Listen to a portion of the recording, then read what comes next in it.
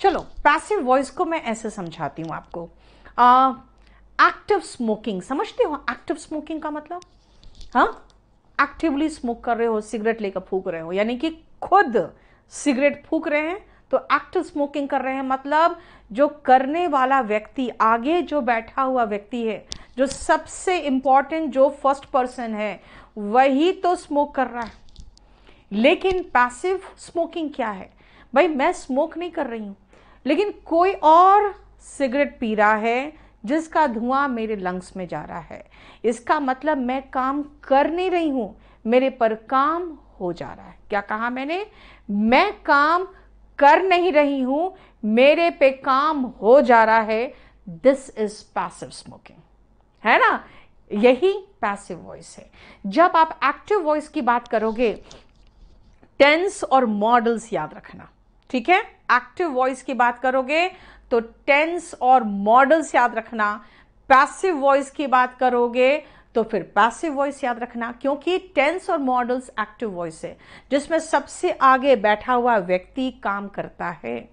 जैसे अगर मैं कहूँ कि आई टीच तो देखो आई टीच क्या इंग्लिश हो गया। आई टीच किसको?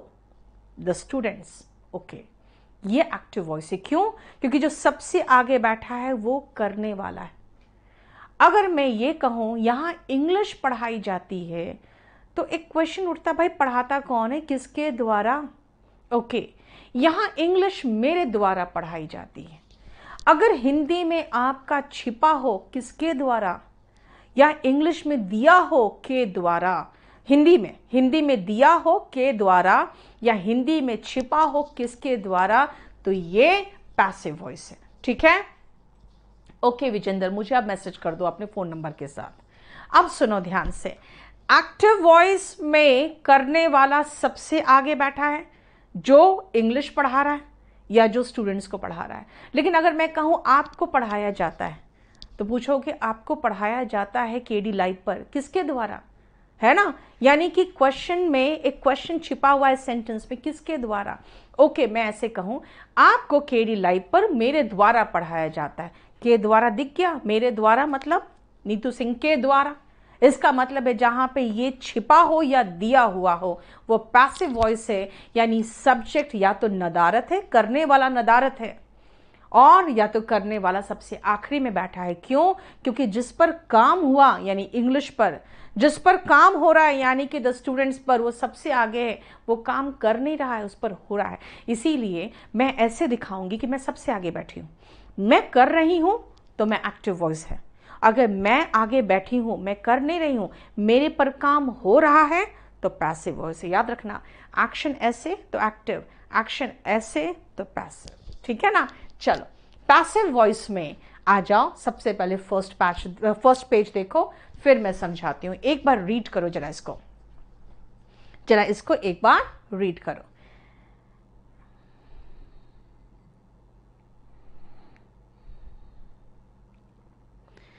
इसको रीड करो, उसके बाद मैं समझाऊँगी।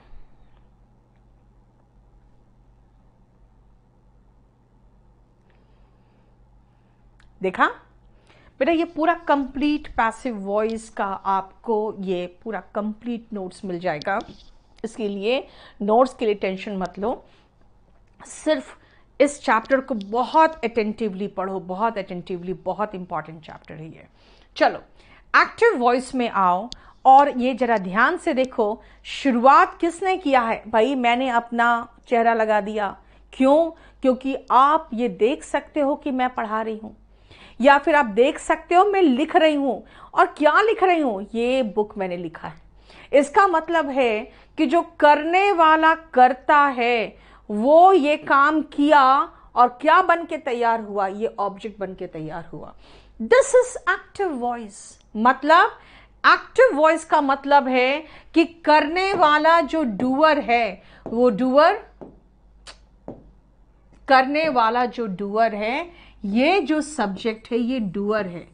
इसने इस एक्शन को किया है और करने के बाद ये बुक तैयार हुआ है, जो कि यहाँ पे ऑब्जेक्ट है। This is the active voice लेकिन मान लो आप मुझे, बेटा विजेंद्र मुझे सारे मैसेजेस दिख रहे हैं, बस थोड़ा सा मुझे क्लास लेने दो, फिर मैं आपको सारी बातें बता दूँगी। और सेकेंडली ऐप में जिसको जिसको प्रॉब्लम हो रहा है, वो प्लीज़ मुझे क्लास में डिस्टर्ब मत करिए। क्योंकि आप लोग अगर शुरुआती स्टूडेंट हो तो आप लोग इसमें मुझे मैसेज कर दीजिए अपने आईडी के साथ तो मैं प्रॉब्लम सॉर्ट आउट करा सक, क्लास के बाद। ठीक है? इसीलिए मुझे थोड़ा सा पढ़ाने दो। जरा आप देखते रहो क्या इश्यू है, मंजीत एनॉल का। चलो, ध्यान से सुनो। ये सब्जेक्ट, ये काम किया इस ऑब्जेक्ट पर। लेकिन ऐसा भी तो हो सकता है बेटा, ऐसा भी तो हो सकता है कि आप मुझे किताब दिखाओ। देखो मैम, ये बहुत अच्छी किताब है। कहूँगी, ये किताब तो मेरे द्वारा लिखी गई है। मतलब के द्वारा दिख गया। है ना? अगर मैं कहूँ, ये किताब तो मेरे द्वारा लिखी गई है, यानी वहाँ बुक सबसे आगे है। सबसे आगे बुक है और उसके बाद मैं मेंशन कर रही हूँ कि मेरे द्वारा लिखी गई है। दिस मीन्स अभी रुको, मैं ये समझाऊँगी आपको। दिस मीन्स मैंने सबसे आगे बुक लिख दिया। कि भाई ये किताब लिखी गई है मेरे द्वारा। यानी ये सब्जेक्ट डस इस वर्ब को ऑन इस ऑब्जेक्ट कहोगे, मैम, यहाँ केडी लाइव में कौन पढ़ाएगा? मैं कहूँगी, यहाँ स्टूडेंट्स को मेरे द्वारा इंग्लिश पढ़ाया जाता है। यहाँ स्टूडेंट्स को मेरे द्वारा इंग्लिश सिखाई जाती है।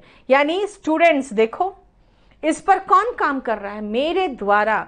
यानी करने वाला सबसे पीछे बैठा हो। या हो सकता है करने वाला नदारत हो। यानी जिस पर काम हुआ, जिस पर काम हुआ, वो ऑब्जेक्ट पहले है। अब आप कहोगे, मैम ऑब्जेक्ट क्या होता है और सब्जेक्ट क्या होता है? सुनो ध्यान से। मैंने कहा, मैंने लिखी तो पूछोगे, क्या? मैंने लिखी तो पूछोगे, क्या? क्या का जवाब मैंने क्या दिया? Book right? अगर मैं कहूँ, मैंने पढ़ाया पूछोगे किसको? मैंने कहा स्टूडेंट्स को। यानी क्या और किसको निकल रहा है ना? आई टीच पूछोगे किसको? एंड आई रोट पूछोगे क्या? यानी आई टीच किसको? एंड आई रोट राइट का सेकेंड फॉर्म रोट क्या?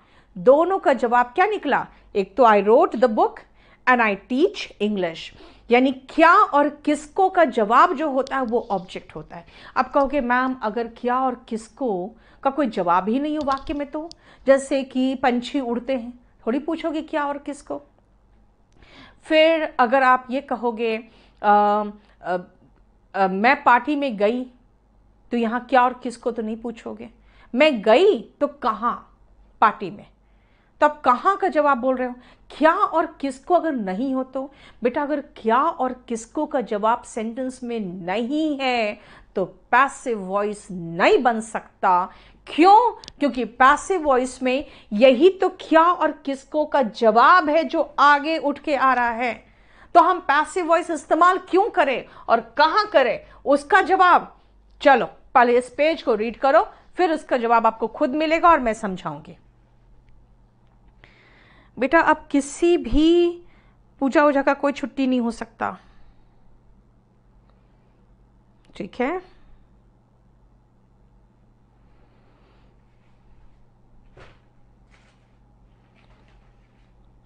कौन कौन सा बैच कनेक्ट किए हो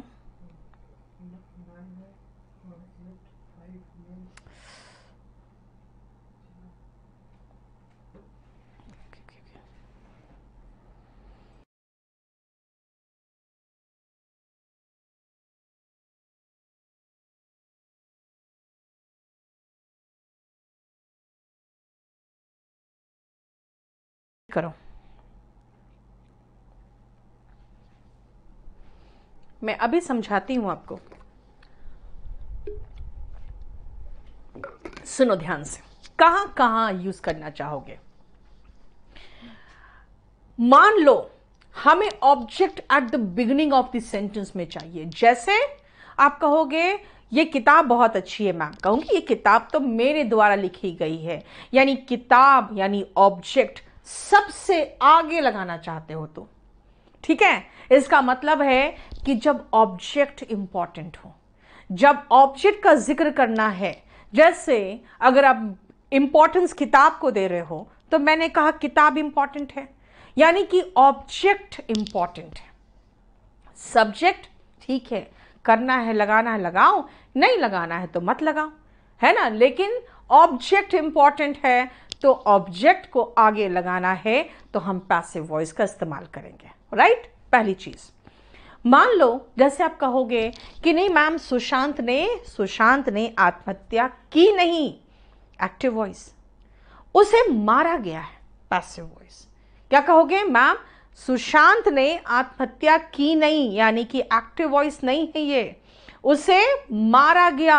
मैंने कहा था ना, इधर से इशारा करूँगी एक्टिव और इधर से इशारा करूँगी तो पैसिव क्योंकि वो खुद को नहीं, उसे मारा गया। यानी किसी और ने मारा तो मैं पूछूँगी किसके द्वारा? ठीक है भाई, पता ही नहीं किसने मारा। तो मैं कहोगे, आप क्या? मैम ही वॉज़ किल्ड यानी कि जब सब्जेक्ट पता ही नहीं है तो मैं कहाँ से लगाऊँ सब्जेक्ट तो मुझे सेंटेंस बनाना तो कैसे बनाऊँ? तो बनाना पड़ेगा पैसिव वॉइस बिकॉज़ जहाँ पे आपको ऑब्जेक्ट का इंपॉर्टेंस देना था, वहाँ तो पैसिव वॉइस बना दिया। लेकिन जहाँ मुझे सब्जेक्ट ही पता नहीं है तो मैं क्या करूँगी?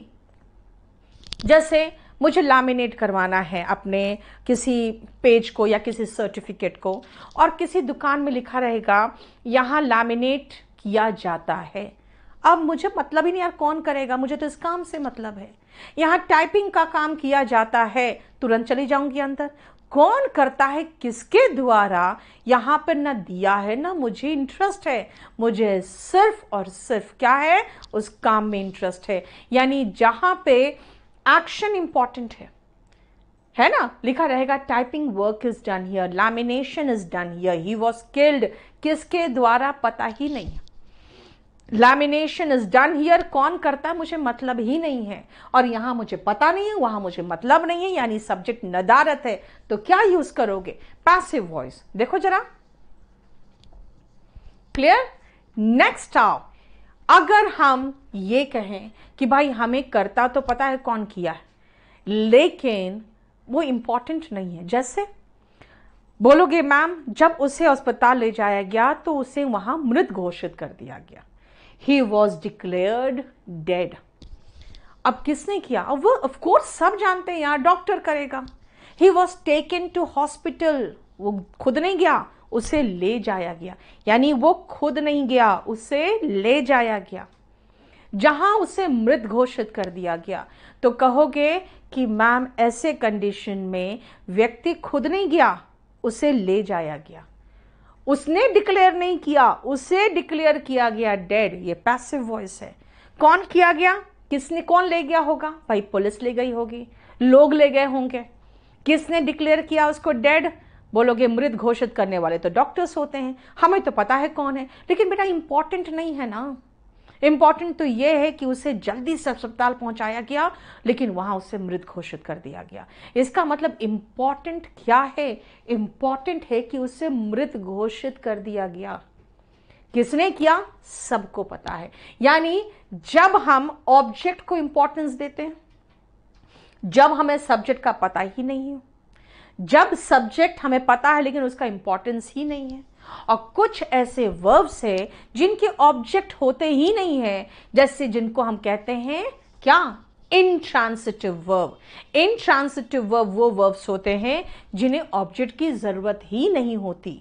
ऐसे कंडीशन में उनका पैसिव वॉइस नहीं बनता। जैसे बर्ड्स फ्लाई इनका पैसिव वॉइस नहीं बनेगा। है ना? ऐसे भी वर्ब्स के पैसिव वॉइस नहीं बनते, जैसे आई हैव अ कार तो बोलोगे मैम यहाँ तो ऑब्जेक्ट है अ कार तो फिर इसका पैसिव वॉइस क्या बनेगा? A car is had by me ये तो लगेगा जैसे मैं कार खा रही हूँ। A car is owned by me ये चलेगा। इसलिए ध्यान रखना, कुछ वर्ब्स का पैसिव वॉइस बनाओगे तो विचित्र हालत हो जाती है उसकी। इसलिए उसका पैसिव वॉइस नहीं बनता। लेकिन आपको ये सब नहीं पूछा जाता किसका पैसिव वॉइस बनता है, किसका नहीं बनता। आपको वही क्वेश्चन आते हैं जिनका बन सकता है। और चार ऑप्शन दिया जाता है, उसमें से चुनना होता है जिसका बनेगा या नहीं बनेगा। So see this is the page जो मैंने आपको कहा कि एक्टिव वॉइस है, क्योंकि करने वाला सबसे आगे है। आई टीच क्या इंग्लिश आई रोट क्या the book you will help तुम उसकी सहायता करोगे। And students make notes students notes बनाते हैं। ये एक्टिव वॉइस है। लेकिन पैसिव वॉइस मैंने कहा कि तब हम बनाएँगे जब हमें ऑब्जेक्ट की ज़रूरत एकदम शुरू में हो, हमें सब्जेक्ट का पता ही नहीं हो। सब्जेक्ट पता है तो भी लगाना ज़रूरी नहीं समझते क्योंकि इंपॉर्टेंट ही नहीं है। देखो तो जरा। क्लियर बोलो। अब आओ नेक्स्ट पेज जो मैंने आपको समझाया था। Right right? कि बुक को और स्टूडेंट्स को आगे रख दिया और करने वाला कर्ता को मैंने पीछे रख दिया, तब पैसिव वॉइस है। क्योंकि यहाँ पे जिस पर काम हुआ, वो आगे बैठा। तभी तो मैंने कहा कि मैंने स्मोक नहीं किया। किसी और ने स्मोक किया और धुआँ मेरे लंग्स में घुस गया। यानी यहाँ करने वाला करता नहीं बैठा है। जिस पर काम हुआ है, वो बैठा है। देखो पैसिव वॉइस बताओ, कोई प्रॉब्लम आ, क्या बोल रहे हो यार? देखो तो कृपा शंकर का मैसेज जाके बाहर सुन के आओ, एक बार देख के आओ। चलो। अब आओ, ये हम पैसिव वॉइस में एक एक टेंस का हम करके देखना चाहते हैं। ध्यान से सुनना। पैसिव वॉइस को कैसे करते हैं बेटा? ध्यान से देखो। पैसिव वॉइस तब तक नहीं कर सकते जब तक आपको एक्टिव वॉइस नहीं आता है। पैसिव वॉइस अब तब तक नहीं कर सकते हो जब तक आपको एक्टिव वॉइस नहीं आता।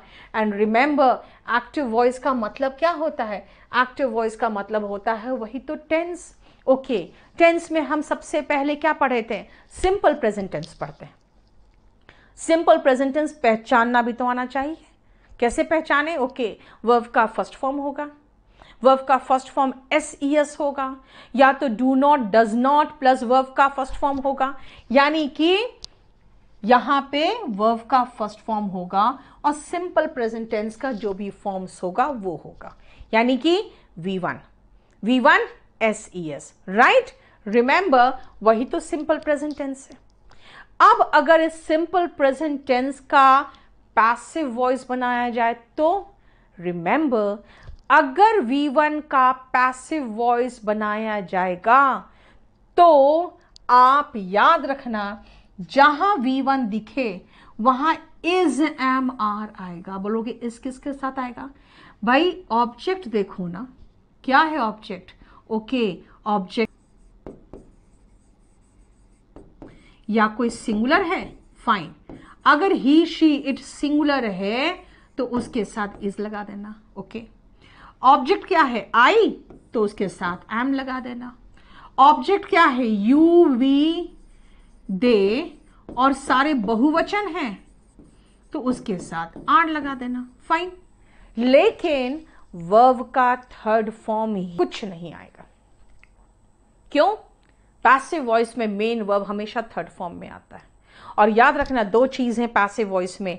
एक तो बी का कोई ना कोई फॉर्म ज़रूर आएगा। बी का फॉर्म है इज़ एम आर और मेन वर्ब हमेशा थर्ड फॉर्म में आएगा। Third form by plus subject अगर है, लगाओ। नहीं लगाना है तो शायद कई कंडीशन में तो हम लगाते भी नहीं है। बाई प्लस सब्जेक्ट देखो, ठीक है? इसीलिए अगर मैं कहूँ आई टीच इंग्लिश तो पहले पहचानना पड़ेगा यार वर्व का फ़र्स्ट फॉर्म है टीच थॉट थॉट वर्व का फ़र्स्ट फॉर्म है। तो आई टीच इंग्लिश का बनेगा इंग्लिश अब इंग्लिश कितना सब्जेक्ट है? देखो सिंगुलर के साथ इज़ आता है। इंग्लिश इज़ और टीच का थर्ड फॉर्म याद रहना चाहिए आपको, तभी तो वर्व के फॉर्म्स याद होने चाहिए। थॉट बाई अब याद रखना। आपको एक प्रोनाउन का चेंज भी याद रखना है। आगे आई है, वो पीछे जाएगा तो मी में टर्न करेगा। English is taught by me देखो तो। आई राइट बुक्स बुक्स कितना है? एक वचन, बहुवचन क्या है? बुक्स है। प्लूरल है। प्लूरल के साथ आर आता है। बुक्स आर राइट का third form write wrote written books are written by अब अगेन आई पीछे गया तो मी होगा। ध्यान रखना आप लोग, एक चीज़ बहुत इंपॉर्टेंट ध्यान रखना, कि जब आप वर्व के पहले फॉर्म लगाओगे तो ये फॉर्म्स लगते हैं। वर्व के वर्व के बाद लगाओगे तो ये फॉर्म्स लगेंगे। तभी आई राइट बुक्स था, लेकिन books are written by me हो गया। अगर ही राइट्स बुक्स होता तो books are written by him हो जाता। शी राइट बुक्स होता तो books are written by her हो जाता। अगर मैं इट लगाऊँगी तो इट का तो इट ही रहेगा। अगर वी होता तो अस होता दे होता तो देम होता। यू का भी यू रहता है। देख लो। ठीक है? समझ में आ रहा है? क्या हुआ? क्लियर ये आपका प्रोनाउन का फॉर्म से कि वर्व के पहले ये फॉर्म होगा, ये फॉर्म उठ के वर्व के बाद जाएगा तो ये फॉर्म्स बन जाएगा। ठीक है? चलिए, अब आओ वापस। आप मुझे आप three four five six seven से लेकर टेन तक करके दिखाओ, फिर मैं समझूँगी आपको समझ में आया। फटाफट करना शुरू करो। मैं आंसर्स देखते जाऊँगी, जल्दी से, फटाफट।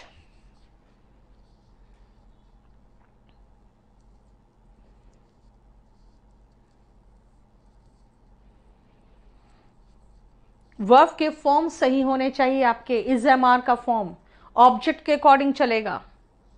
जल्दी।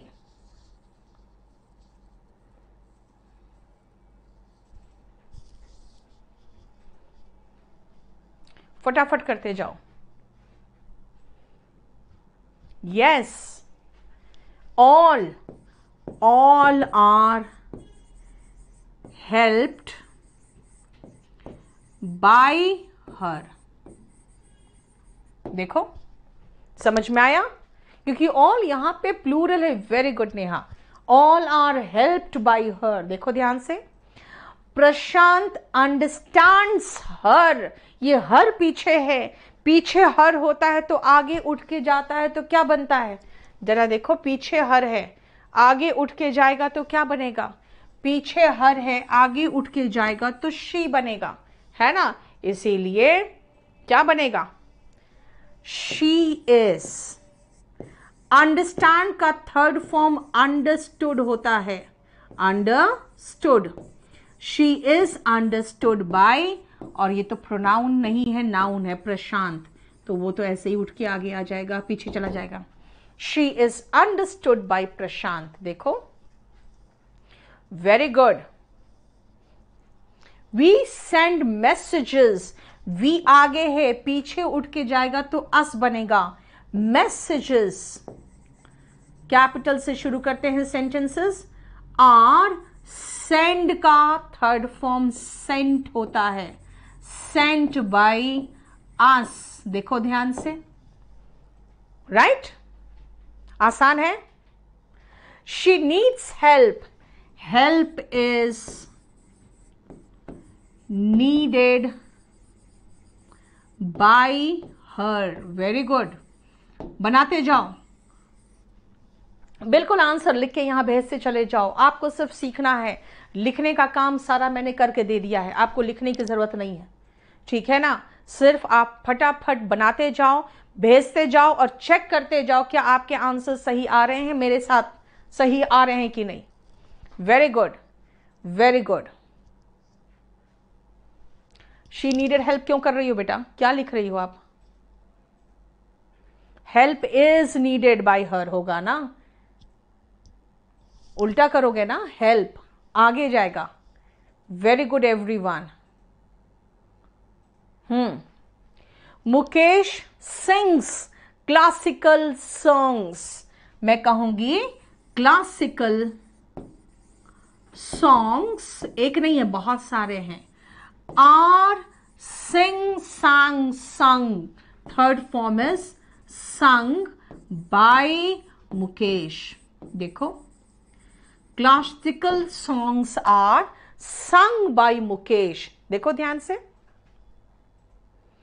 I watch television every night अब एवरी नाइट मत लगा देना आगे। क्यों? बेटा आई वॉच क्या? क्या और किसको का जवाब ऑब्जेक्ट होता है? आई वॉच क्या? टेलीविज़न टेलीविज़न आगे आएगा। टेलीविज़न इज़ वॉच का third form watched by me every night देखो टेलीविज़न इज़ क्यों? क्योंकि सिंपल प्रेजेंट टेंस चल रहा है। देखो, सब में इज़ एम आर का ही तो इस्तेमाल कर रही हूँ मैं। ऑब्जेक्ट आगे is am are plus verb का थर्ड फॉर्म लेकिन थर्ड फॉर्म तो याद करना पड़ेगा ना आपको। She plays hockey hockey is play का third form played by her देखो। Hockey is played by her and soldiers follow commands यानी उनको जो आदेश दिया जाता है, उनका पालन करते हैं सोल्जर्स हमारे सैनिक जो होते हैं, आदेश का पालन करते हैं। कमांड्स एक नहीं है, अनेक है। तो आर लगाएँगे फॉलो का फॉर्म फॉलोड होगा। बाय और सोल्जर्स पीछे गया तो सोल्जर्स हो गया। फॉलोड बाय सोल्जर्स देखो। Commands are followed by soldiers remember is am are ही तो आ रहा है। सिंगुलर है तो इज़ प्लूरल है तो आर आई होगा तो एम हो गया। ठीक है? ठीक है? देखो ध्यान से। कोई प्रॉब्लम यहाँ तक? सिंपल प्रेजेंट टेंस के पैसिव वॉइस में पहले तो सिंपल प्रेजेंट टेंस पहचानो, और उसके बाद ऑब्जेक्ट आगे is am are plus V three plus verb का third form. This is very easy and I told you मेरे साथ साथ क्लास में करोगे, फटाफट करोगे। क्यों? कॉपी बनाने की आपको इतना ज़्यादा टेंशन लेने की ज़रूरत नहीं है। ठीक है ना? आप जितना सुंदर बनाओगे, उससे सुंदर बना हुआ मैं आपको दे रही लो। क्लियर वॉइस का कवर पेज चेंज हुआ था, देख लेना। चलो। ये समझ में आ गया आपका? अब आओ सिंपल पास्ट टेंस में। क्या डिफरेंस है सिंपल प्रेजेंट और सिंपल पास्ट टेंस में बताओ तो? क्या डिफरेंस है? आई टीच इंग्लिश ओके पहले क्या पढ़ाते थे? I thought maths okay fine teach present बता रहा था और थॉट पास्ट बता रहा था। बेटा हिम लड़के के लिए यूज़ करोगे ना? और हर लड़की के लिए ओके हिज बेटा हिज तो पोजेशन बताता है। I understand his language his तो पोजेशन बताता है। आई अंडरस्टैंड क्या? उसको हिम उसका लैंग्वेज तो हिज लैंग्वेज होगा। आया समझ में? इसीलिए ध्यान रखना सिंपल प्रेजेंट टेंस को अब सिंपल पास्ट टेंस बनाना है। तो टेंस तो बहुत आसान हो जाता है हमें। टेंस पढ़ के कि V1 का हमने V2 कर दिया। ओके V2 कर दिया। तो इज़ एम आर का पास्ट टेंस क्या है? अगर V1 का V2 है तो इज़ एम आर का V2 क्या है? इज़ एम आर का V2 वॉज़ वर है। ध्यान रखना is am are was were में चेंज हुआ। वॉज़ किसके साथ है? आई के साथ। और ही के साथ शी के साथ इट के साथ, है ना? सब सिंगुलर के साथ, बस एक आई जिसके साथ आम अलग था, उसके साथ भी वॉज़ है। और जितने भी सिंगुलर है उसके साथ नेम एंड सिंगुलर के साथ वॉज़ फाइन तो वर किसके साथ आएगा? यू के साथ वी के साथ दे के साथ और सारे बहुवचन के साथ वर आएगा। हो गया? मतलब जिसके साथ आर था ना, उसके साथ वर है। और जिसके साथ इज़ और एम था, उसके साथ वॉस है। देख लो तो। क्लियर? वॉइस कम आ रही है? देखो, अब आते हैं आई हेल्प देम बेटा देम आगे गया तो क्या बनेगा? फिर से देखो। आगे गया तो क्या बना? देम लास्ट में था। आगे गया तो क्या बना? देम लास्ट में था। आगे गया तो बना दे। यस इसका मतलब है अब हमें ये देम उठकर आगे आ गया तो दे बना। फाइन और आई उठ के पीछे गया तो क्या बना? देख लो। देखो जरा। आई उठ के पीछे गया। आई उठ के पीछे गया तो मी बना। ओके फाइन आई उठ के पीछे गया तो मी बना ओके हेल्प क्या है? हेल्प का second form help V two है। यानी अगर वी टू है तो हम वॉस या वर्ड लगाएँगे। दे के साथ क्या आएगा? दे बहुवचन है तो उसके साथ वर आएगा। दे वर और हेल्प का थर्ड फॉर्म भी हेल्प्ड होता है और बाई प्लस सब्जेक्ट में बाई मी हो गया। दे वर हेल्प्ड बाई मी देख लो, कोई प्रॉब्लम क्लियर चलो बनाना शुरू करो तो उसको जल्दी बनाइए।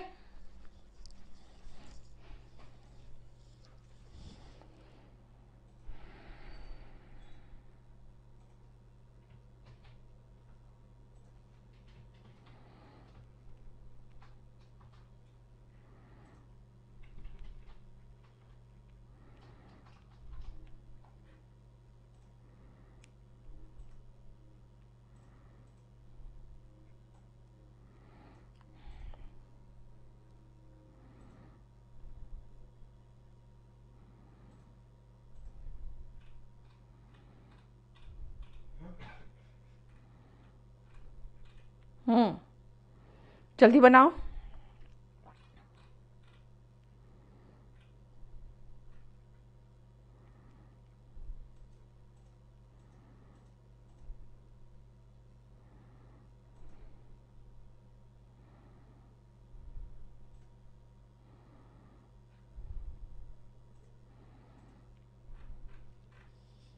वेरी गुड बहुत अच्छा। तुम लोग तो बहुत अच्छे से जल्दी सीखते हो। इसीलिए बस इसको रिवीजन करना, ये पूरा असाइनमेंट अच्छे से रिवीजन कर लोगे ना, कुछ नहीं बचेगा।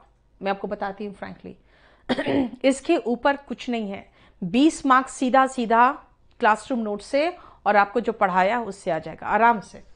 बस खाली ध्यान रखना, इस बार मेंस में बच्चे मतलब 200 में, मैं बताऊँ 200 करके आ रहे हैं। बस वो एक परसेंट रख रहे हैं कि मैम शायद कुछ गलत हुआ हो या शायद गलती से कुछ गलत हो गया हो। वरना 200 में 200 करके आ रहे हैं। अब बच्चे कहते हैं, बहुत आसान आया। बेटा, आसान नहीं आता इंग्लिश का पेपर यही इंग्लिश का पेपर पहले आता था तो बच्चे डेढ़ सौ क्रॉस नहीं करते थे।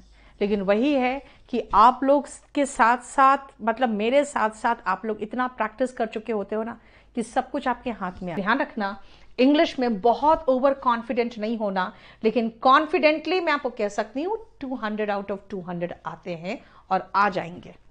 एन एलियन यानी कि जो यहाँ के नहीं होते, है ना एलियन एन एलियन सॉ है वर्व का सेकेंड फॉर्म है।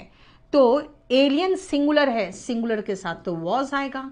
An alien was seen by some American देखो। An alien was seen by some American ठीक है? ही मेड अ प्लान ध्यान से देखो। अ प्लान शुरू में आया। वॉज़ मेक का third form made by he पीछे गया तो हिम आ गया। ठीक है? A plan was made by him क्यों? भाई, एक प्लान है तो वॉज़ आएगा दे है, बहुवचन है तो वर आएगा वर्व तो हमेशा थर्ड फॉर्म में ही आएगा। शी शेड टीयर्स टीयर्स अब समझ में नहीं आ रहा शेड क्या है। भाई शेड क्या है और शेड का सेकेंड फॉर्म थर्ड फॉर्म क्या है? पता नहीं। अगर नहीं पता तो यही खत्म आपका मामला। अगर आपको पता है शेड का सेकेंड फॉर्म थर्ड फॉर्म भी शेड है तो कहोगे, ओके, ठीक है, हम शेड तो लगा दिए मैम थर्ड फॉर्म भी शेड होता है. लेकिन अब मुझे यह समझ में नहीं आ रहा है कि ये फ़र्स्ट फॉर्म है कि सेकेंड फॉर्म है?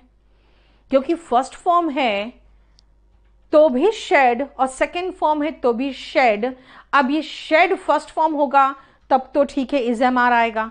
सेकेंड फॉर्म होगा तो वॉज़ वर आएगा. क्योंकि आपने पास्ट टेंस में दिया तो हमें समझ में आ रहा है वी टू है. लेकिन वी वन भी हो सकता है, नहीं हो सकता. क्यों? क्योंकि शी के साथ अगर वी वन लगाते तो एस लगाते शी शेड स्टीयर्स यानी कि आँसू बहाती है। लेकिन मैंने यहाँ पे सेकेंड फॉर्म दिया है, यानी मैंने आपको शेड जो दिया है, ये यहाँ सेकेंड फॉर्म है, तभी तो एस ई एस नहीं आया। कुछ लोग कहते हैं, मैम, अगर ऐसी बात है तो शी के जगह पे अगर हम वी लगा दें तो वी में तो शेड्स नहीं होगा, फिर तो शेड होगा। अब तो हमें समझ में नहीं आएगा कि वी वन है कि वी टू है। बेटा वो कंफ्यूजिंग इसलिए उससे क्वेश्चंस नहीं आएँगे। क्वेश्चन आपको शी ही नेम सिंगुलर से ही देगा, जहाँ पर वी वन और V one S E S का फ़र्क आपको बता देगा कि भाई ये वी वन नहीं है। क्योंकि वी वन होता तो शी के साथ शेड्स लगता। ये वी टू है। तभी तो देखो एस ई एस हट गया। ये होगा टीयर्स वर शेड का थर्ड फॉर्म भी शेड बाई और शी पीछे गया तो हर यानी कि ऐसे छोटे छोटे दिक्कत जो वाले जो सेंटेंसेस होंगे, हम साथ में करते चले जाएँगे। ठीक है? देखो tears were shed by her Rashmi liked him him उठ के आगे गया तो ही बना. He was liked third form he was liked by Rashmi. देखो। ठीक है? सिंगुलर के साथ वॉस आता गया प्लूरल के साथ वर चलता गया। देख लो ध्यान से। सिंगुलर के साथ वॉस प्लूरल के साथ वर ठीक है? He bought a gun a gun एक ही तो गन है। वॉस थर्ड फॉर्म और सेकेंड फॉर्म बाई का सेम होता है। Buy bought bought a gun was bought by he he का हो गया लास्ट में जाके him a gun was bought by him देखो ठीक है the man stole my purse बेटा पॉजिटिव एडजेक्टिव का कुछ नहीं होता माई पर्स उठा के सीधा आगे बिठा दो. माई पर्स वॉस एक ही तो पर्स है. स्टील स्टोल स्टोलन चुराना का इंग्लिश होता है steal stole stolen third form चाहिए स्टोलन बाय द मैन ठीक है? The purse was stolen by the man the bird made a nest to lay eggs बेटा टू ले एग्स का नहीं है कुछ करना आपको। द बर्ड मेड क्या? अ नेस्ट मैंने क्या कहा था? क्या और किसको का जवाब ऑब्जेक्ट होता है? उसी को तो उठा के आगे बिठाना है। अ नेस्ट एक ही तो नेस्ट है, एक ही तो घोसला है। वॉस मेक का थर्ड फॉर्म मेड होता है। Second form third form same है। A nest was made by the bird अब आगे आप सेम रिपीट कर दो, यहाँ पर जो ऊपर लिखा हुआ है टू ले एग्स लेकिन आप ऑब्जेक्ट में कंफ्यूज मत करना। वर्ब के तुरंत बाद जो सवाल उठता है, क्या और किसको, वही ऑब्जेक्ट होता है। My brother bought a dress a dress एक ही तो है। वॉस बॉट है। बाई का थर्ड फॉर्म भी बॉट होता है। बॉट बाई माई ब्रदर देखो एंड पारुल आंसर्ड क्या? ऑल द क्वेश्चन करेक्टली बेटा करेक्टली तो एडवर्ब उसको थोड़ी लगाओगे। आंसर्ड क्या? ऑल द क्वेश्चन यही तो है ऑब्जेक्ट ऑल द क्वेश्चन क्या का जो जवाब निकलता है, वही तो ऑब्जेक्ट होता है। All the question were answer का थर्ड फॉर्म हुआ answered correctly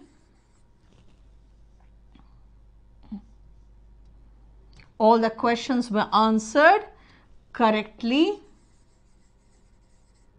by Parul कुछ लोग कहते हैं, मैम बाई पारुल करेक्टली लगा दे, चलेगा डजेंट मैटर लेकिन आपको उससे नहीं आता है, आपको ज़्यादा वर्ब में प्रॉब्लम देगा, है ना? ये सब ध्यान रखना। इसीलिए रिमेंबर वन थिंग मुझे ये बताओ, इसमें आपको कितने हैं जो आपसे सही हो गए दस में? यही बताएगा कि आगे आपसे सही होंगे, कि आपसे गलत होंगे। आपको एक प्रोनाउन का चेंज याद रखना है, एक वर्व का चेंज याद रखना है हेल्पिंग वर्व का सही इस्तेमाल याद रखना है। ठीक है? प्रकाश, सारा राइट है। वेरी गुड हाँ हाँ। हाँ X were made to lay by birds ये क्या बेटा, कोई ज़बरदस्ती उससे तुम अंडे दिलवाओगी? हाँ? ये कैसे हो सकता है?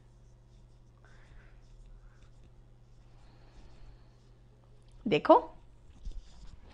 This is how you have to do passive voice with me copy ऑपी कुछ नहीं। सारा आंसर साथ साथ दो और बताओ दस में दस सही है, दस में नौ सही है, कितना है? क्योंकि आंसर्स अगर चेक करने हैं बाद में आपको, कर लेना यार, सब दिया हुआ है। इसीलिए उसका टेंशन मत लो। ठीक है? रिमेंबर हम लोग जो पैसिव वॉइस करने वाले हैं है ना? हम लोग जो पैसिव वॉइस करने वाले हैं, ये आपके बहुत सारा है, बहुत सारा है। ठीक है? अब देखो, सारे आंसर्स दिए हुए ठीक है? तो अभी हम लोग शुरुआत ही किए हैं। एंड पैसिव वॉइस में बहुत कुछ है, बहुत कुछ करना है। सो so रिमेंबर हमारे पाँच क्लास तो कम से कम पैसिव वॉइस में जाते हैं। लेकिन जो लोग स्पेशली खाली पैसिव वॉइस और नरेशन के लिए एडमिशन लिए हैं उनके लिए एक तो सबसे अच्छा बेनिफिट है कि पैसिव वॉइस और नरेशन के साथ साथ अभी एक आध शीट उनका आ, वो भी हो जाएगा। हम्म, ये वो कैप का भी हो जाएगा।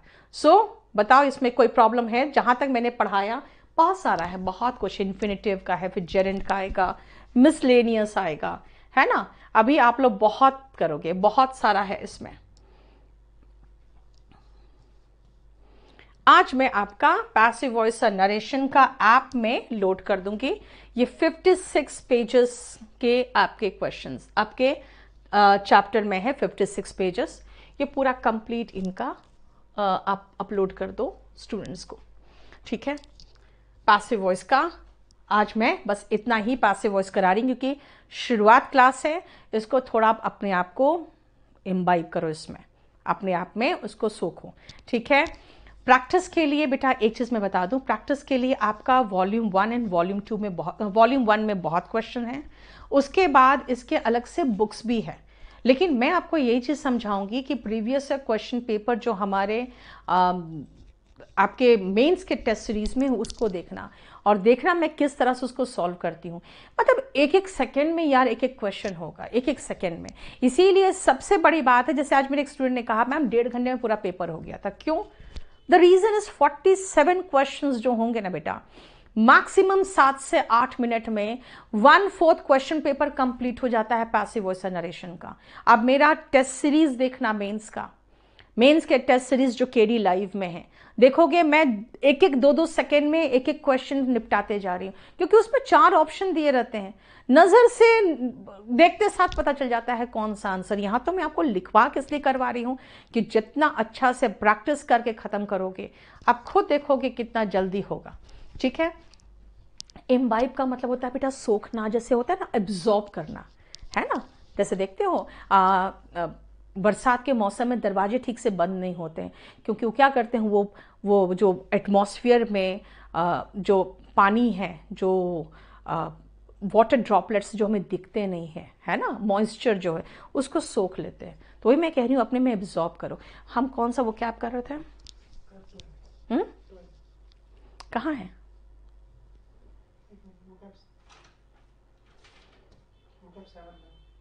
वो कैप सेवन शुरू कर दिए थे?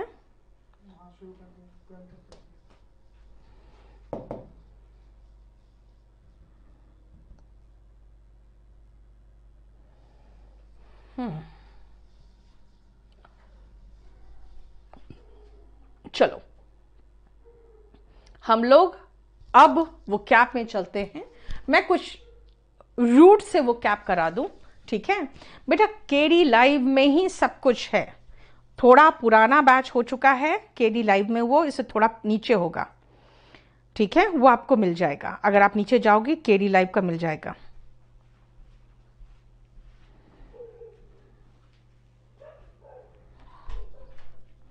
चलिए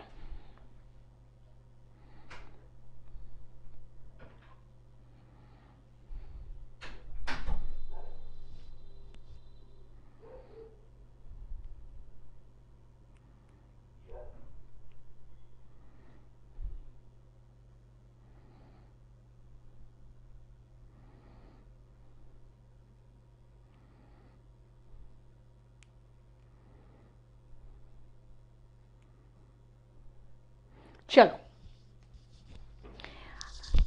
सबसे पहले मैं थर्टीन से कराने वाली हूँ, इसमें वो क्या? ध्यान से सुनना।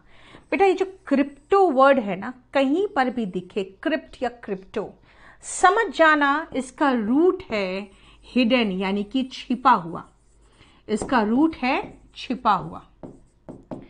और ग्राफी जहाँ भी देखो, समझ जाओ, इसका मतलब होता है राइटिंग यानी कि लिखित या लिखना। ठीक है? ये समझ जाओ। अब छिपा हुआ राइटिंग क्या हो सकता है? आपने वो पिक्चर देखा होगा राज़ी। उसमें उसे क्रिप्टोग्राफी सिखाया जाता है है ना? ताकि वो कोड वर्ड में मैसेजेस भेज सके, इसीलिए जो कूट लेखन होता है, यानी ऐसी राइटिंग जिसमें कुछ एक सीक्रेट मैसेज या कोड्स में अपने बात को लिख के भेजा जा सके उसको कहते हैं क्रिप्टोग्राफी। देखो तो ध्यान तक, ध्यान से। क्लियर नेक्स्ट आओ एनक्रिप्ट ध्यान से सुनना एनक्रिप्ट बेटा एनक्रिप्ट वर्ब है। यानी कि क्रिप्ट से बना हुआ एनक्रिप्ट हो गया। है ना? वर्ब है। कैसे है? ध्यान से देखो। एनक्रिप्ट का मतलब होता है, जैसे किसी भी चीज़ को कूट लेखन में बना देना, उसको चेंज कर देना। फॉर एग्ज़ाम्पल जैसे मान लो मैंने एनक्रिप्ट कर दिया अपनी बातों को किसी ऐसे लैंग्वेज में कि किसी को जो बैठे हुए उनको समझ में नहीं आए, बस मैंने सीखा हुआ है क्रिप्टोग्राफी और मेरे टीम का एक और जासूस है वो सीखा हुआ है। तो ये जो कूट लेखन है, सिर्फ़ मैं समझूँगी क्यों? क्योंकि मैंने उसको एनक्रिप्ट करके ऐसे फॉर्म में चेंज कर दिया है, जो किसी और के समझ में नहीं आएगा, सिर्फ़ उसके समझ में आएगा। इसी में तो कोडिंग भी तो एनक्रिप्ट किया जाता है ना? कोडिंग भी तो सेम लैंग्वेज हो जाता है। So what is encrypt encrypt का मतलब होता है टू चेंज क्या? कोई भी इंफॉर्मेशन फ्रॉम वन फॉर्म कैसा फॉर्म भाई, आम फॉर्म जो सब समझ में जाएँगे, आ जाएगा सबको। To another specially to hide its meaning यही तो है एनक्रिप्ट करना। ठीक है? देखो, कूट रूप देना। बेटा, मैं और करा क्या रही हूँ? जो एग्ज़ाम्स के वो कैब है ना बेटा, मैं वही करा रही हूँ। ठीक है? एग्ज़ाम से रिलेटेड वो कैब ही तो मैं करा रही हूँ। और क्या करा रही हूँ मैं? ध्यान रखना, ये सब वो कैब आपको सिर्फ़ एग्ज़ाम में उगलना और भूल जाना है। ठीक है? स्पोकन का वो कैब बिल्कुल डिफरेंट होता है। इससे स्पोकन बिल्कुल डिफरेंट चीज़ है। ठीक है? इसीलिए अब कोई भी एग्ज़ाम का नाम लोगे सब में यही चीज़ है। सब में इस तरह का ही लेवल का वो कैब आता है? देखो सब में क्रिप्ट वर्ड दिख रहा है ना? क्रिप्ट वर्ड दिखा है ना? अब आ जाओ 16, 15, 16, 17 में। पहले सुनो। लॉजी का मतलब जहाँ भी दिखे समझ जाओ स्टडी है। कहीं भी लॉजी दिखे समझ जाओ पढ़ने यानी अध्ययन की बात हो रही है। निम कहीं दिखे समझ जाओ नाम की बात हो रही है। ठीक है? अगर मैं ने अपना मैसेज को एनक्रिप्ट कर लिया if I encrypt my messages these people won't be able to understand my cryptic language they won't be able to understand the cryptic information that I want to pass to the other spy spy मतलब जासूस। है ना? They won't understand the cryptic message cryptic message तो cryptic क्या है? Adjective है, क्योंकि message का विशेषता बताया है। मतलब छिपा हुआ, जो उसमें कूट, लेखन में चेंज कर दिया गया है दैट इज़ क्रिप्टिक देखो हैविंग और seeming to have a hidden meaning यानी कि जिसमें आप हिडन मीनिंग रखते हो। ठीक है? क्लियर अब आओ व्हाट इज़ क्रिप्टोलॉजी ध्यान से सुनो। क्रिप्टोग्राफी उसको सिखाया गया था, है ना? और क्रिप्टोलॉजी भी तो सेम चीज़ है। मतलब पहले तो क्रिप्टोग्राफी बन गया एक लैंग्वेज हम लोगों ने। हम जासूस का जो एक है, जैसे इंडिया में रॉ है, एक लैंग्वेज बना के हमने तैयार कर लिया कि देखो, हमारे जो जासूस होंगे, बस उनको ही यही लैंग्वेज आएगा, बाकी किसी को नहीं आएगा, ठीक है? अब अगला जो व्यक्ति आया, जिसको जैसे कि उसमें आलिया भट्ट गई तो उसको वही लैंग्वेज सिखाया गया। तो व्हाट इज़ दैट क्रिप्टोलॉजी है ना? क्रिप्टोग्राफी करके वहाँ से वो भेजती थी। क्यों? क्योंकि उसने क्रिप्टोलॉजी पढ़ रखा था। इसीलिए study of cryptography is cryptology study of cryptography पहले बुक लिखी जाएगी, तब ना पढ़ी जाएगी। तो क्रिप्टोग्राफी की पढ़ाई इज़ क्रिप्टोलॉजी इसका मतलब स्टडी ऑफ़ क्या? Codes art of writing and solving them यानी कि ऐसे जासूसों को पकड़ के टॉर्चर किया जाता है। और टॉर्चर करके फिर सीखा जाता है कि बताओ ये कोड का मीनिंग क्या है। अब वो जब तक नहीं बताता है, तब तक उसको पीटा जाता है, उसको सोने नहीं दिया जाता है, उसको तंग किया जाता है। तभी तो आप देखते हो ना, है ना? जासूस आपके सोल्जर्स जो मर जाते हैं, उनको लाके यहाँ पे पूरे सम्मान के साथ उनका अंतिम संस्कार होता है। जासूसों को तो कह दिया था हमारा है ही नहीं। ठीक है ना? इसलिए जासूसी जो करते हैं ना, वो अपनी जान को हथेली में रखकर अपने देश के लिए प्राण न्यौछावर कर देते हैं, लेकिन उनको मरने के बाद वो सम्मान तक प्राप्त नहीं होता है। ठीक है? So remember what is cryptonym cryptonym is गुप्त नाम, यानी कि एस सॉरी क्रिप्टोलॉजी मैंने समझा दिया। Study of cryptography come to the next one cryptonym वही जासूस की बात मैं कर रही हूँ। रिमेंबर वन थिंग जासूस भी अपने नाम से नहीं रहते हैं। अगर मान लो मैं जासूस बनूँगी तो नीतू सिंह बिल्कुल खत्म हो जाएगा। फिर मुझे कोई एक सीक्रेट नेम दिया जाएगा। उसी सीक्रेट नेम का मेरा सब आईडी पासवर्ड सब आईडी वगैरह बन जाएगा, हमारा आधार कार्ड बन जाएगा, और हो सकता है अगर मैं जाने वाली हूँ पाकिस्तान, अगर इस तरह के जासूसी करने के लिए तो पाकिस्तान के डॉक्यूमेंट्स तैयार करके मुझे दे दिए जाएँगे, और बिल्कुल एक मुस्लिम नाम के साथ, है ना? वो मेरा जनरली लोग एक सीक्रेट नाम यूज़ कर लेते हैं। क्यों? खासकर महिलाएँ, क्योंकि महिलाओं को कोई सीरियसली नहीं लेता अगर बुक्स की दुनिया की बात की जाए तो। ठीक है? जैसे हैरी पॉटर बहुत फ़ेमस हो गया, तब पता चला अच्छा ये पी रॉलिंग जो है ना, वो तो महिला है। अगर पहले पता होता तो कोई ध्यान ही नहीं देता उस बुक पर। इसीलिए महिलाएँ खासकर अपने नाम को चेंज करके एक फॉल्स नेम अपना लेती है। इसलिए याद रखना स्यूडो का मतलब फॉल्स होता है। जहाँ पर भी स्यूडो दिख जाए, उसका मतलब फॉल्स होता है। और निम का मतलब नाम। ऐसे लोग अपने लिए एक फॉल्स नेम रख लेते हैं और उसी से किताब लिखते हैं।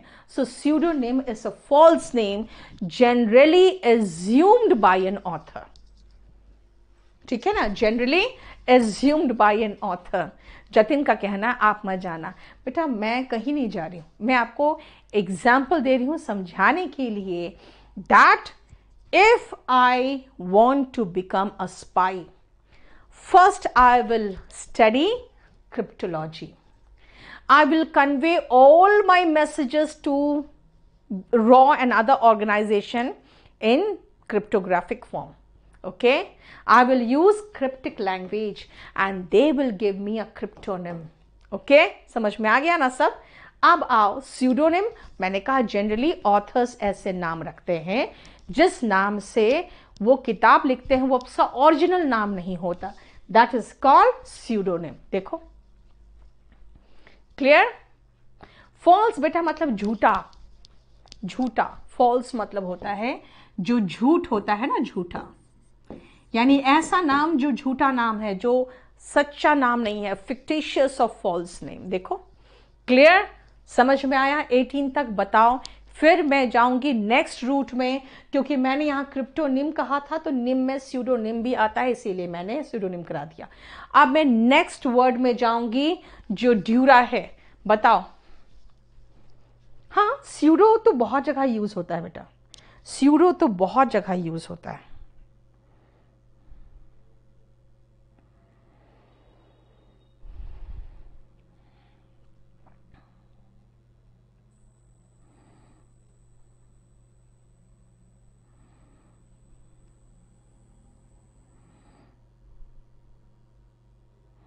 ठीक है? चलो आप देखो बेटा स्टडी ये टेस्ट सीरीज़ की बात करोगे तो टेस्ट सीरीज़ आप केडी लाइव ऐप में जाओ।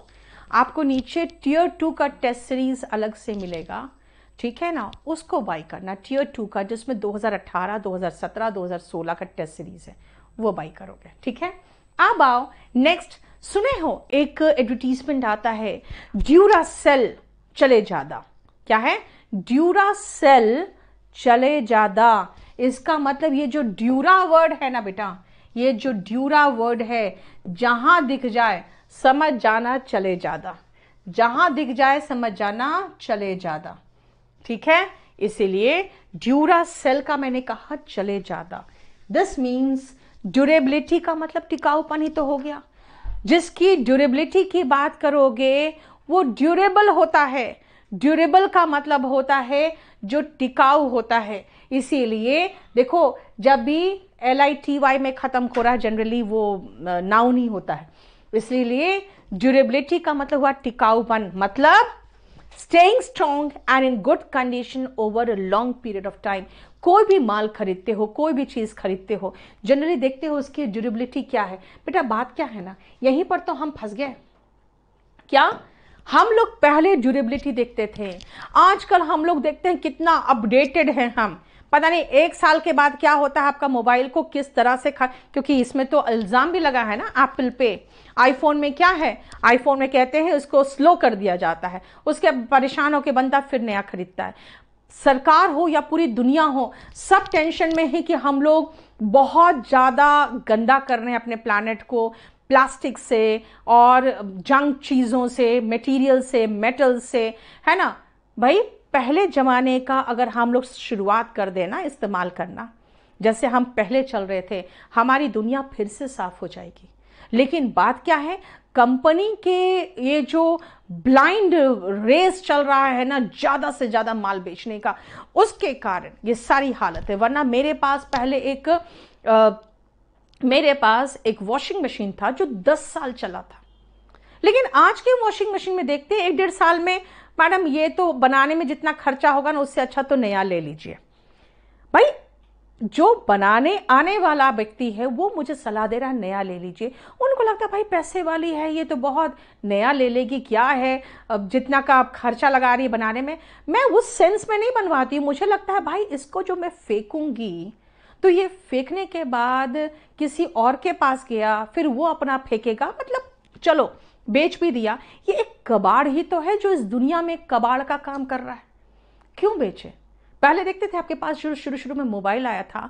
मोबाइल का हर पार्ट आपको मिलता था बाज़ार में। ठीक है, अगर उसका बैटरी खराब हो रहा है तो आपको नया बैटरी मिल जाता था। अगर आगे से वो देखने में थोड़ा सा खराब हो रहा है तो आगे का कवर भी मिलता था जो उसको बिल्कुल नया बना देता था। उसका पीछे का कवर भी मिलता था। आज तो सब कुछ ऐसा पैक्ट आता है कि आपका अगर बैटरी लो होने लगा है, जल्दी खत्म होने लगा तो कुछ नहीं, नया खरीदो। Just because of one reason क्योंकि इनकी कमाई बढ़ानी है। बेटा, पहले तो पाँच हज़ार का जो टीवी आता था, वो भी बीस साल लोग चलाते थे। आज तो एक लाख का जो मोबाइल है, वो एक साल में खत्म है फिर दूसरा खरीदो तो ये सारी चीज़ें क्या है? पूरी दुनिया में पूरा सी हो, पूरा हमारे सब कुछ वो जंक के रूप में ही तो खराब होता जा रहा है ना, सब कुछ वहाँ पे जमा हो रहा है। Right so remember one thing हम लोग now we don't insist on durability. We just want to keep up ourselves updated. नौटंकी है सब कुछ नौटंकी है भाई मोबाइल का काम है मेरा तो बस एक ही चीज़ है मैं फेसबुक देख लूँ व्हाट्सएप देख लूँ ठीक है और अपना मैसेजेस कर लूँ और फ़ोन अटेंड कर लूँ उससे जब दिखावा मुझे ज़रूरत नहीं पड़ती ठीक है so remember insist on durability टिकाऊपन पर ज़ोर दो है ना just see try to see वो कितना मेटीरियल कितना प्रेशर एंड्योर कर सकता है। है ना? अब जैसे मैंने कहा, क्यों खराब हुआ? तो कहता है कि, मैम, इसमें आपने जितना इसकी कैपेसिटी उससे ज़्यादा डाल दिया होगा। ये बर्दाश्त नहीं कर पाया। वाई भाई? It could not endure seven के जीज क्यों? क्योंकि वो फाइव के जी का था, बस। वो फाइव के जी तक एंड्योर कर सकता है। जानबूझ के ऐसी मशीनें बनाई जाती है। क्यों? क्यों? वो ज़्यादा प्रेशर ज़्यादा कंटेंट्स एंड्योर नहीं कर पाए और वो उसकी ड्यूरेबिलिटी पर इल्ज़ाम हमारे पर आता है कि मैम जितना ये एंड्योर कर सकता था, उससे ज़्यादा आपने इसमें वज़न डाल दिया। सो वॉट इज़ एंड्योर बर्दाश्त करना। आई के नॉट एंड्योर दिस मैं ये बर्दाश्त नहीं कर सकती। एंड्योर का मतलब टिके रहना, बर्दाश्त करना, यानी कि अगर आप बर्दाश्त कर लेते हो इसका मतलब टिकाऊ हो। अगर आप एंड्योर कर लेते हो तो आप में ड्यूरेबिलिटी है। अगर आप फोर्स आपका सामान एंड्योर कर लेता है, इसका मतलब उसकी ड्यूरेबिलिटी है। See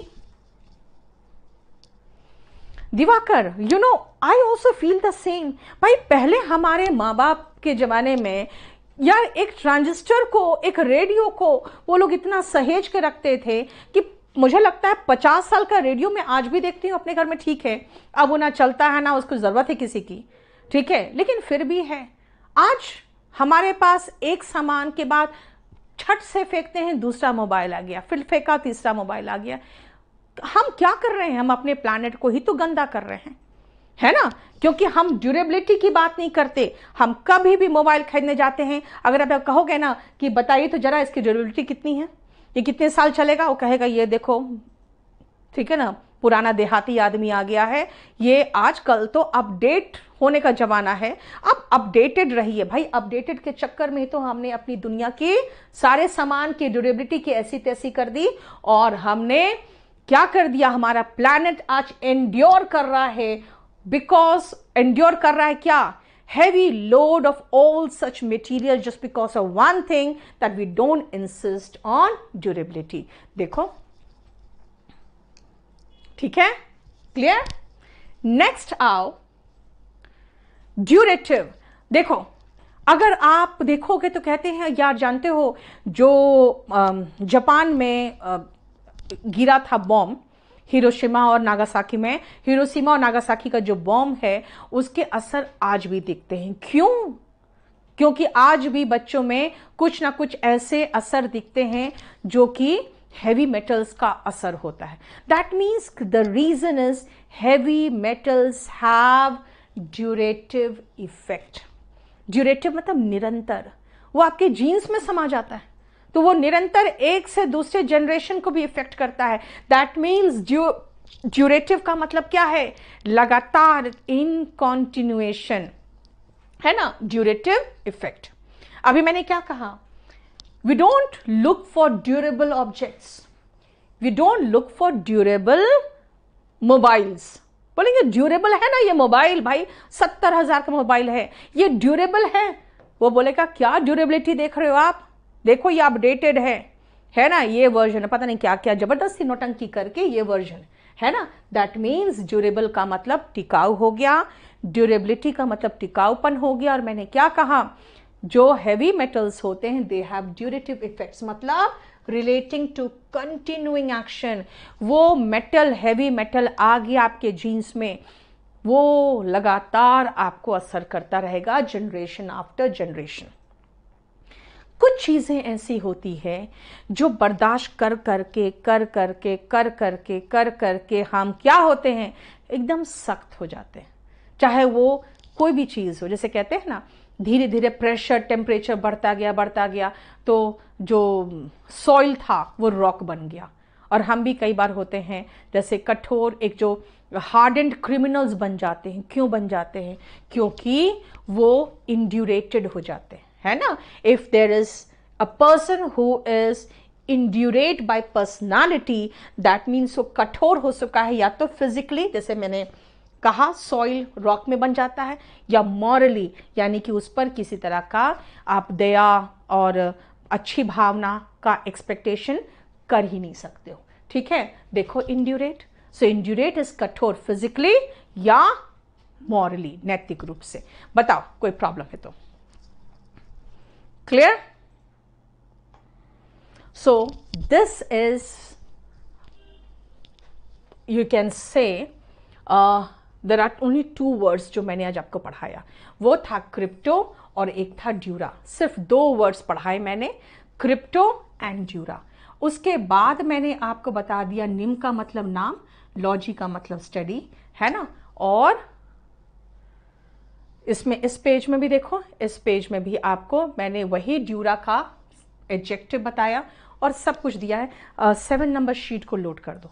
ठीक है, आज बेटा इतना ही रहने दो because of search and reason आज इतना ही रहने दो।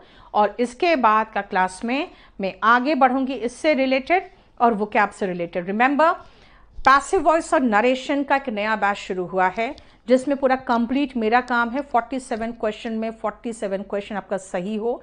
इसीलिए आपने फैमिली एंड फ्रेंड्स जहाँ जिसको भी लेना है करवा दो। लेकिन साथ साथ दो तीन शीट्स आपके वो कैप के भी हो जाएँगे ठीक है? नेक्स्ट हम परसों मिलेंगे। आ, कल तो आपका क्लास नहीं है हम परसों मिलेंगे ठीक है? चलो थैंक यू सो मच